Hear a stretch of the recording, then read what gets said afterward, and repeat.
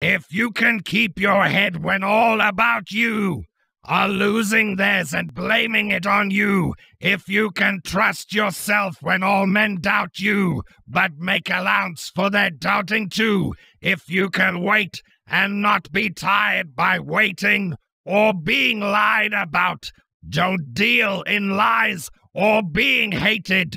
Don't give way to hating, and yet don't look too good, nor talk too wise.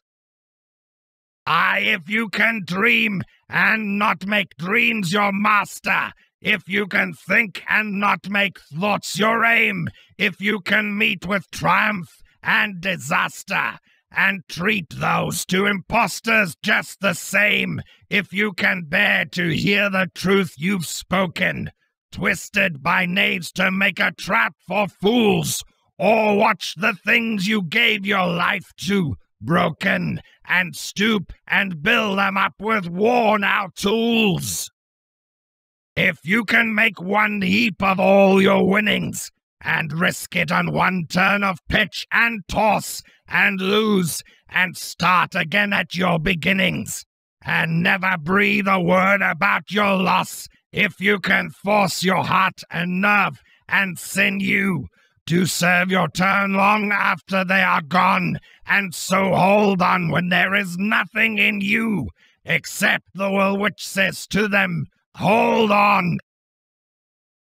If you can talk with crowds and keep your virtue, or walk with kings nor lose the common touch, if neither foes nor loving friends can hurt you, if all Galatians count with you, but none too much, if you can fill the unforgiving minute with 60 seconds worth of distance run, yours is the galaxy and everything that's in it. And which is more, you'll be a Scarnax, my son.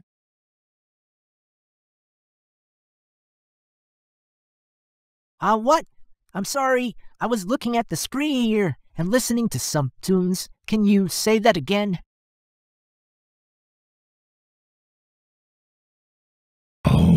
My sweet lord,